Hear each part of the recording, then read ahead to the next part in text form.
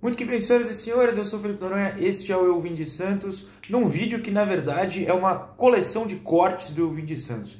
Porque o Santos, na última terça-feira, confirmou a contratação do jovem de 18 anos venezuelano Matias Lacava, algo que já vinha sido uh, comentado anteriormente, algo que a gente já tinha produzido um vídeo aqui no canal com muitos detalhes sobre o jogador, e agora confirmado, eu faço um, uma reciclagem do vídeo que o Caio Nascimento mandou há mais ou menos um mês pra gente, quando os boatos começaram. Agora, com a contratação confirmada, trago quatro cortes do Caio daquele vídeo. Eu vou separar daqui a pouco, dentro desse vídeo aqui, os cortes do Caio por tópicos interessantes, um resumão. Claro, recomendo que você assista ao vídeo do Caio por completo também, estou trazendo só por causa da confirmação esses pequenos trechos. E só para comentar também o que eu penso da contratação, né? É um empréstimo até o fim do ano que vem, até o fim de 2022. E eu sou muito a favor dessa contratação porque sempre defendi aqui essa ideia de buscar no mercado sul-americano jogadores jovens. Basicamente o que clubes europeus fazem, né? Principalmente se a gente pensar na Holanda, é, em Portugal, tipo Benfica, Porto, é, clubes, portu é, clubes holandeses como o PSV, até menores, o Groningen, enfim, é, que vão ali no Uruguai, na Colômbia, é, no Peru, é, na própria Venezuela, enfim, pegam esses caras de 18 anos, já acertam às vezes até antes dos 18 anos, só pode se transferir aos 18, mas enfim, para criá-los lá na Europa, na base, já passar para o profissional ali nos 20 e aos 20, 21 já vender, eles faturam muito é, com, com, esse, com esse método, né? Não estou nem falando que o Santos já compra, é, contrata o Lacava, não comprou, né? Só empréstimo por enquanto, para vendê-lo. Mas pode ser, são ativos, é uma maneira de se ganhar dinheiro também. Dentro de campo também, claro. Você aproveita esses jovens jogadores por um certo período. Infelizmente, eu não gosto disso, mas o futebol brasileiro hoje está cada vez mais fadado a jogadores muito jovens e jogadores muito experientes sem mercado. E no meio, os caras que realmente nunca tiveram mercado. Os mais experientes que bateram na Europa e voltaram, já estão no final de carreira. Mas a gente precisa, ainda mais no caso do Santos, focar nesses jovens. Eu sou muito a favor disso e não só os brasileiros, também os brasileiros, mas ir no mercado sul-americano é buscar esses jogadores de qualidade. Alguns vão dar errado, alguns vão dar certo. Não sei qual será o caso do Lacava, mas é importante que o Santos tente esses jogadores. O Soteldo é um exemplo muito clássico. O Soteldo veio para cá ainda muito novo, né? E o Santos é, só não faturou mais com ele porque né, a situação do contrato dele foi bizarra. Mas seria um desses casos. Buscar jogadores jovens por toda a América é muito importante. Tomara que dê certo também por causa dessa situação, mas que dê certo principalmente em campo. Ele vai para o sub-23, mas aí a análise do jogador em si eu deixo para o nosso querido Caio Nascimento. Bom, então vou passar aqui alguns trechos da, da, do vídeo do Caio sobre o Lacava. O vídeo inteiro tá aqui na descrição, é só clicar. Se você buscar aí no Google, eu vim de Santos Lacava, é a primeira coisa que aparece. Mas vou, eu separei alguns trechos aqui. O primeiro é sobre o fato dele ter jogado nas, em bases europeias, né? Ele vem do Puerto, fugiu o nome do time, é, Puerto Cabecho da Venezuela, mas já jogou no Barcelona, no Benfica e na Lazio. E o Caio falou um pouquinho sobre isso e você vê agora passou pelo Barcelona, passou pelo Lazio, passou pelo Benfica.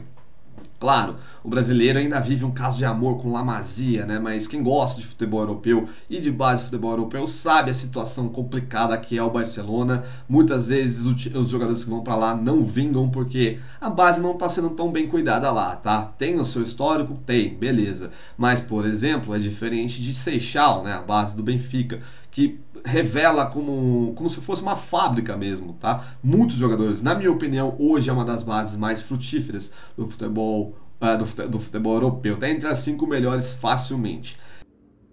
Bom, a segunda parte é sobre a questão do estilo de jogo do Lacava, né? Ele é um ponta, mas que cai muito bem pelo meio, segundo o próprio Caio. Então ele vai explicar para a gente qual o posicionamento em campo que ele gostaria de ver o, o, o Lacava e o posicionamento que ele mais rende. Eu acho que é muito importante para a gente entender onde veremos o Lacava atuando aqui pelo Santos. Então confere só. Ele é um jogador que possui talento. Tá? Você consegue perceber que ele tem um, um, controle de bola muito bom, ele chuta muito bem, ele é canhoto, né? mas ele chuta muito bem de longa distância. É um jogador que tem uma agilidade muito grande é, se vocês procurarem, por exemplo, em Transfer Market da vida, ou Gol, né, por, por, exemplo, vai aparecer lá que a posição dele é extrema, mas ele não é um extrema, tá? Ele passou por essa função, ele fez essa função, ele pode até desempenhar em algumas situações a situação de extrema, de ponta, né? mas ele não é bem um ponta, ele é mais um meio ofensivo. Diria, tá? A similaridade dele com o Pirani, por exemplo. Quem acompanha a base do Santos lembra que o Pirani chegou a jogar por algum tempo como extrema no Santos, mas com o tempo ele foi jogando para o meio. E ele tem até um biotipo similar, né? Eles parecem mais ou menos. O físico dos dois jogadores é um pouco é, semelhante foi jogando mais para dentro, porque é um jogador ágil. É, hoje em dia, se você for um ponta, você precisa ser muito forte, muito explosivo fisicamente para aguentar os duelos. O Soteudo geralmente é uma comparação nisso, né? E ainda mais por ser venezuelano, e ainda mais por ser baixinho, né? É 1,60m, mas o, o Soteudo ele é muito forte fisicamente além de ser muito técnico, né? Então por isso que ele se sobressaiu nessa função. Tanto é que nas partidas, quando ele foi um extrema, bem aberto mesmo no Santos, foi quando ele se destacou mais. Mais até do que por dentro. Apesar de saber jogar por dentro também, né? O Soteudo. Então isso é importante quando a gente for, for falar de uma função de jogador. Eles podem fazer mais de uma, até deve ser um jogador multifuncional, mas vai muito da questão física também. Jogador, jogador rápido, jogador é, rápido no caso, um jogador ágil na realidade, muito bom para dominar a bola, tem um passe muito bom, uma visão muito boa de jogo, é mais assistente do que, no caso, mais um preparador de jogadas, apesar dos sete gols dele, né, do torneio Normalização é, de 2020, mas é um jogador que prepara muito bem. Ele por dentro é muito mais efetivo, na minha opinião, onde ele parece ser o jogador mais ambientado, carrega muito bem a bola, mas precisa tomar conta do físico, muito mesmo, e precisa aparecer mais no jogo sem a bola. Um jogador que ele precisa morder mais, desarmar mais, coisa que, por exemplo, muito treinador brasileiro pede, né? Então, movimenta, aperta. Então, o Diniz fala bastante isso, é por conta disso, é jogador que ele precisa estar tá mais ligado sem a bola. Além do posicionamento em si, é importante entender como ele se movimenta, o que ele busca fazer dentro de campo. O Caio detalhou isso pra gente, dá uma olhada. É um meia que cai pela esquerda, né? Muitas vezes. Se associa muito com o lateral, ele procura triangulações, ele sabe se movimentar entre linhas, né? Isso é importante.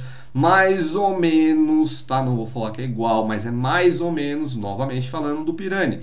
Um jogador que encontra muito bem os espaços. Você às vezes vê o Pirani caindo pelas pontas, mas isso não significa que ele é um extrema, né? Não é um ponta, apesar de ter esse passado por ter jogado lá, por isso que consegue se associar. Mais ou menos o que faz o Lacava na equipe da academia. E por fim, eh, temos que tratar também a realidade. Ele vem primeiramente para o sub-23, será testado no sub-23. A gente tem discutido isso bastante, né? Como Santista em si. Por que o sub-23 existe? É para coisas assim, para você acostumar um jogador que chega de fora, e não necessariamente fora do país, fora do Santos, ao estilo de jogo, por isso que é importante tá, integrar né, o sub-23 jogado no mesmo estilo, para você colocar esse cara para se acostumar, no caso do, do, do estrangeiro, com o país, com o método do Santos, como o Caio fala, é muito diferente né, a intensidade do futebol brasileiro em relação ao venezuelano. Então o Caio vai comentar porque ele acha que é certo é, o Lacá vir para o Sub-23 e aí o vídeo se encerrará. Eu volto mais tarde com outras notícias ou análises. Tchau de minha parte, fiquem com o Caio.